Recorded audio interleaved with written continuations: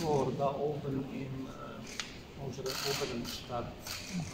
Also, sie ist Beschützerin der Stadt Zagreb und ich glaube, das ist auch für den Präsidenten eine gute Vielen Dank.